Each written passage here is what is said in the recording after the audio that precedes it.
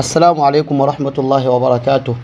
Wannan shine bidiyo namu na 22 a cikin wannan series da muke yi mai suna koyi Excel. Kamar wanda faɗa insha Allahu zan yi bidiyo tun daga zan yi bidiyo tun daga farkon Excel har zuwa gwargwado abin da ya kamata a ce mutum ya sani a ciki.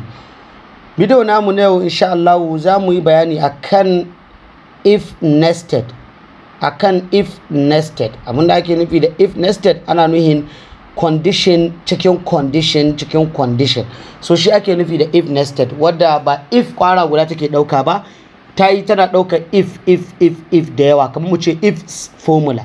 So shine abin da za mu yi magana kai. In za ku tuna bidiyon mu na 21 mu yi bayani akan ya ake amfani da if formula. Muka ba da misalai guda biyar duka daga farko har ƙarshe har da bonus ma na misali mun ba da wanda idan kana buƙatar ka hidda ka yi amfani da condition mai alphabets a cikin statement naka. So yau za mu yi bayani kan ya za a yi amfani da if nested a ciki. Kuma wannan if nested in za ta ɗauki condition condition da yawa. Kenan duk lokacin da condition guda bai cika ba to ta yi amfani da wani condition. In wannan bai cika ba ta yi amfani da wani. In wannan bai yi ba ta yi amfani da wani. Har sai ta samu condition wanda kake buƙatar ka samu. So shine abin da wannan if nested din take nufi. Tana ɗaukar different conditions ne. To za mu yi misali kanta amma kamin nan abin da za mu yi amfani da shi za mu yi amfani da grade function ne ko za mu yi amfani da formula din domin mu hidda grade na student.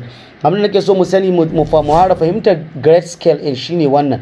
0 to 39 mun sani yana ba da f mun san 40 to 44 yana ba da e 45 to 49 is D, 50 to 59 is C, 60 to 69 is B, sannan kuma 70 to 100 is A. So yau shine abin da za mu amfani da shi a nan domin mu hitar da domin mu fitar da um, uh, grade na students in nan da muke da su guda goma. So za mu yi amfani da if nested domin mu hitar da wannan. Kamar muka sani ko yaushe za ka fara da if equals to sai ka ce if. Kamar da muka yi wancan amma za mu saka different different statement ne ba irin wancan da muka yi amfani sai mu ce if c2 za mu yi amfani da is less than or equals to 39 me muke nufi? Muna nufin kenan duk lokacin da wannan c2 in yake less than ko yake equals to 39 what do we want to have at the value if it is true? Muna so ya ba mu f. So shine abin da muke so we are done with that. So since we have another condition. Kenan ba 39 kawai ba mun san 0 to 39 is f. So now we want to have e da d da c da sauransu. So ba za mu sa if false ba mu rabu da if false gaba ɗaya cikin wannan statement saboda muna da abubuwa da yawa. So za mu sa um, if open bracket again. Kenan mun gama da wancan condition in if open bracket again c2 is za mu yi amfani da less than or equals to 44 comma we want e comma. Me muke nufi? Muna nuhin kenan tunda mun ɗauko 039 nan formula namu ya tsaya. Don haka from 40 abin da muke nufi na less than or equals to 44 muna nuhin less than kenan 40 or equals to 44 don haka once from 40 up till 44 anything in between that we want it to be e.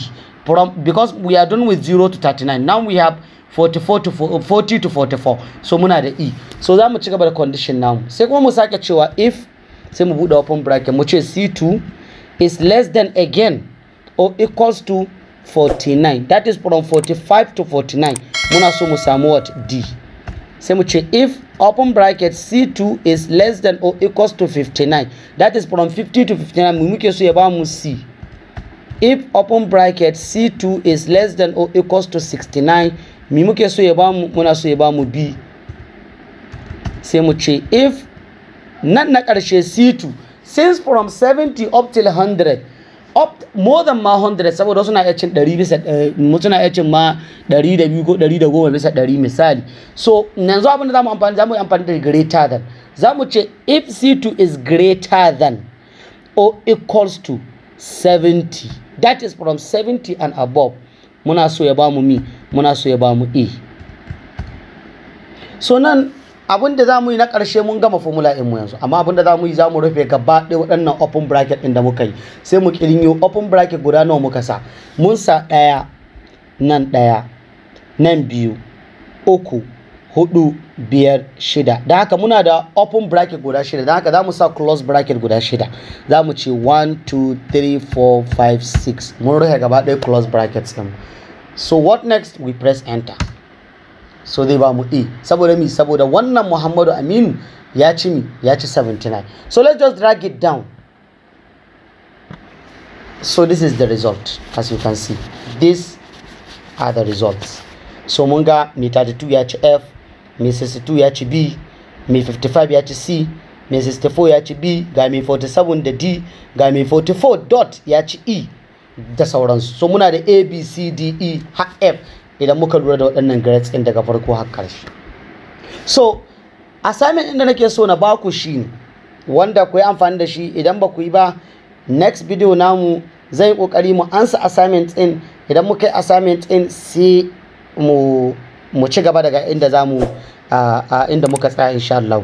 Abin da nake so shine ku tafi ku hitar muna da points. Bari in hitar da points abun nan in point scale in nan.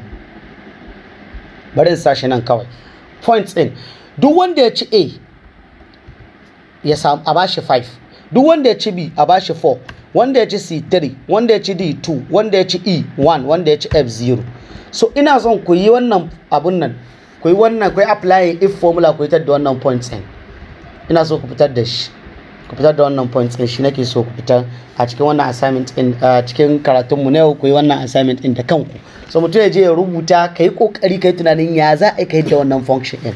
Kenan if this is a kana son ya baka 5 if this is b kana son ya baka 4 if this is c 3 e, d 2 e 1 f 0 so ina son ka fitar da point. Idan ba ku fitar ba next video namu za mu yi wannan assignment zan muku inda za ku yi shigar ku da mu sai mu ci gaba kuma daga inda muka tsaya. Da fata Allah ka samu dace.